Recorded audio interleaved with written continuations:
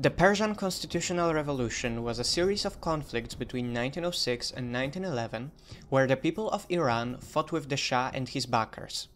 The goal of revolutionaries was to abolish the despotic rule of the Shah and to establish a parliament.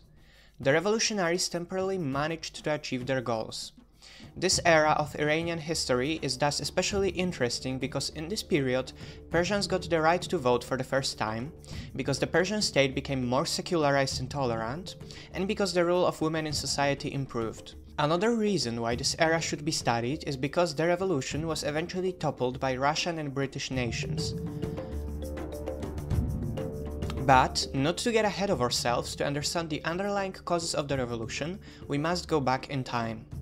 Persia was often the cradle of expansive empires. However, in the 18th century, the great Safavid dynasty, ruling Persia from the 16th century, collapsed. From the rubble, many competing realms emerged, with the Qajar dynasty coming out on top. Already the Qajar's mandate country was far inferior and less expansive than the Safavids, but as Qajar Persia entered the 19th century, things would only get worse. Over the years, they lost many wars with Russia and would end up ceding Central Asia and the Caucasus, obtaining essentially the modern-day borders of Iran. While the decline of Persia can be partially attributed to Russia growing in power and taking over some of its peripheral territories, it is generally thought that it was mechanisms of capitalism and globalization that actually crippled Persia the most in the 19th century. What do I mean by that? Well, in the 19th century, economy was becoming more and more globalized. Persia entered the global market as a weak state and would only lose more and more through global trade. Silkworm disease was brought on by merchants, which was bad for a country so reliant on the production of silk garments.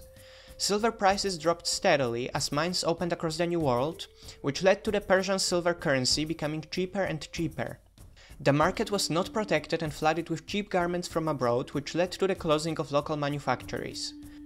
To pay for the imported goods, agriculture shifted from food crops to cash crops, like opium and tobacco.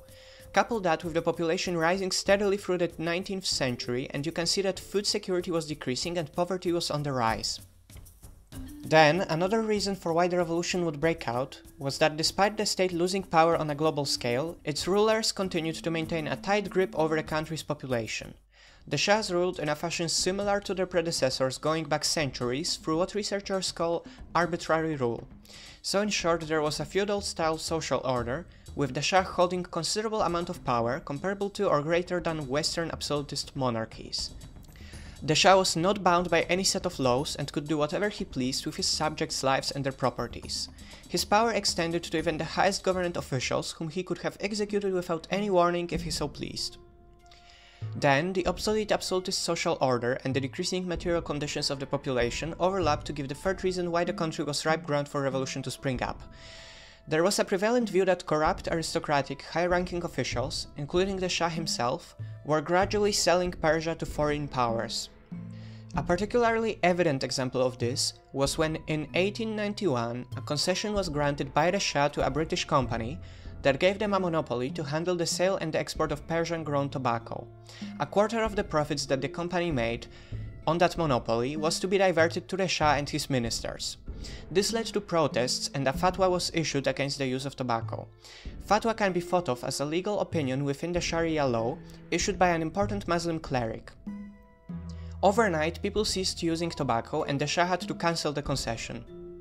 Fourthly, globalization also led to the spread of Western ideas of representation, democracy, and the freedom of press.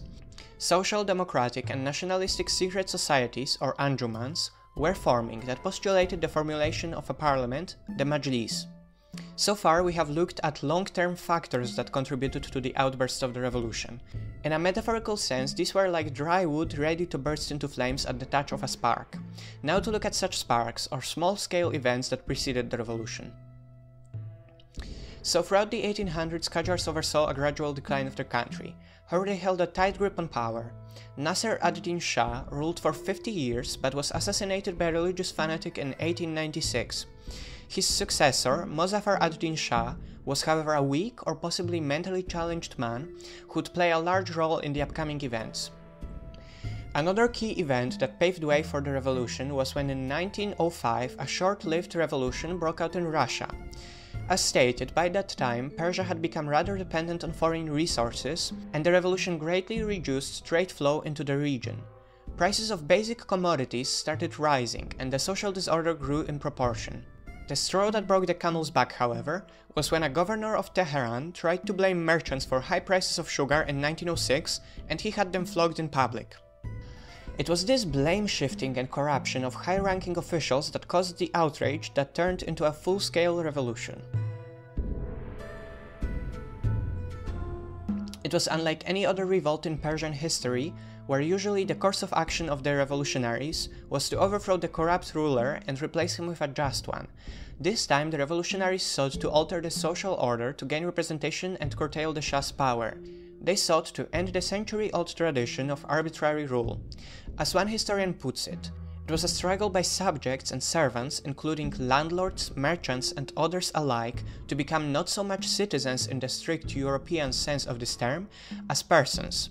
It was a demand for all to enjoy security of life, limb, and property. Surprisingly, the frail Mozaffar ad-Din Shah was particularly ill during this time, eventually agreed to the protesters' demands in the same year. Just like that, in 1906 a revolution occurred without any major bloodshed. Sadly, in the upcoming years, much blood was spilled in order to maintain revolutionary gains. Mozaffar ad-Din Shah made the concessions in the summer of 1906, establishing the parliament Majlis. Elections for the Majlis occurred in the autumn and went smoothly, next a constitution was passed by the Majlis by the end of the year. Due to it, the following were introduced. Voting rights to men above the age of 25 were granted, to those whose net worth was above a baseline value. 156 members were present in the parliament.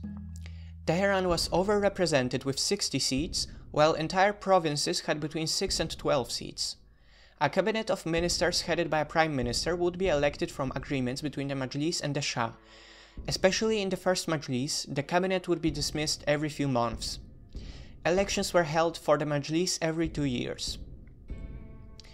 Mozaffar ad-Din died a few weeks after the constitution was passed in January 1907. He was succeeded by his son Muhammad Ali Shah. Unlike his father, Muhammad Ali was in his prime and looking to restore the power that was given away by his father back to the monarchy. In 1907 and 1908, tension increased between the Majlis and the Shah. One of the events that contributed was when one of the newspapers criticized and mocked the Shah. He demanded to have the newspaper closed. The Majlis, however, saw this as a breach of constitutional rights and blocked the trial.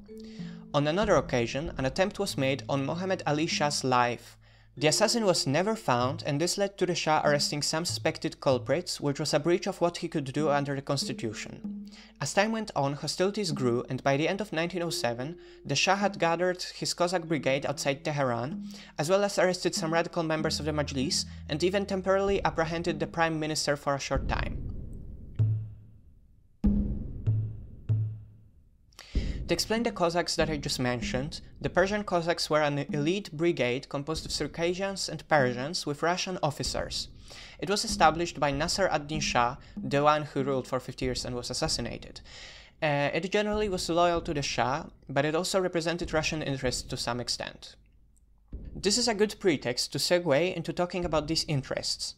Basically, the two colonial superpowers that sought to control Persia were Great Britain and Russia.